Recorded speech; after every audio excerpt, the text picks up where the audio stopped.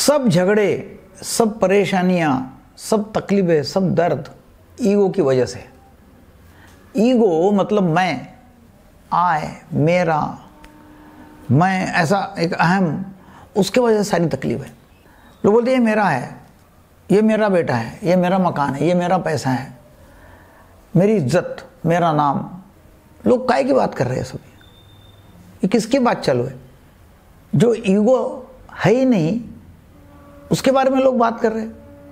बोले हाँ ईगो है। बोले, कहाँ है, बताओ।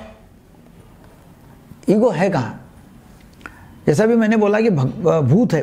तो बोले हाँ भूत है, मैं विश्वास करता हूँ, मैं बोलूँगा, बताओ, भूत कहाँ है? जो बता सकते ही नहीं है, वो है कहाँ?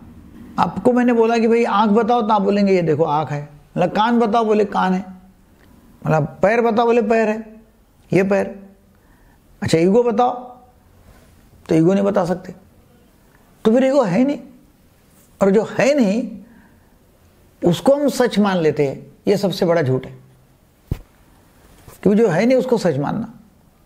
एक्चुअली क्या है ईगो ईगो जो है, वो एक, ऐसा देखा जाए तो ईगो ब्रेन में है नहीं, मगर एक कल्पना जो की जो अपन कॉन्वर्जेशन में बोलते हैं।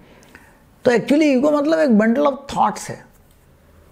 मेमोरी बैंक है दिमाग। और वो थॉट्स प्रोड्यूस करती रहती है। और वो जो पास्ट इंफॉर्मेशन हमारे पास में जमा हुई है, उसके भरोसे हम आगे का चलते रहते प्रेजेंट में काम करते फ्यूचर का प्लानिंग करते तो जो मेमोरी बैग है, उसको प्रैक्टिकल लाइफ में हम बोलते हैं वो ईगो है। एक्चुअली वो ईगो नहीं वो मेमोरी बैग है। लोग बोलते हैं, मेरे मुझे ईगो ही नहीं है। बोले, झूठ बोल रहे हैं, ऐसा कैसे ईगो नहीं है? बोले, मेरे को गुस्सा ही आता नहीं है, ऐसा कैसा गुस्सा आता नहीं है, गुस्सा तो आएगा ही मैं आपका पॉकेट मारने की कोशिश किया। तो अब गुस्सा नहीं आएगा? पकड़ेंगे नहीं उसको?